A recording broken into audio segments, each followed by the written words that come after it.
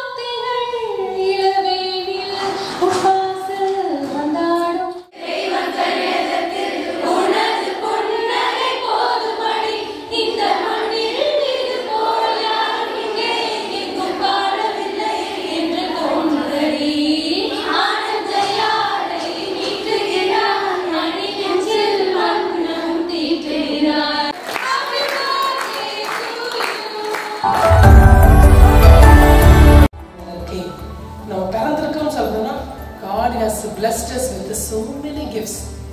நிறைய ஆசீர்வாதங்கள் கொடுக்குறாரு. அப்போ அந்த ஆசீர்வாதத்தை நம்ம பெறணும் அப்படின்னு சொல்றோம்னா முதல்ல என்ன செய்யணும்? நாம் எல்லாருமே நம்மளுடைய மனசை வந்து என்ன செய்யணும்? சந்தோஷமான நிலையிலே வச்சுக்கணும். ஒரு நாளும் எதற்கும் அஞ்சக்கூடாது. No fear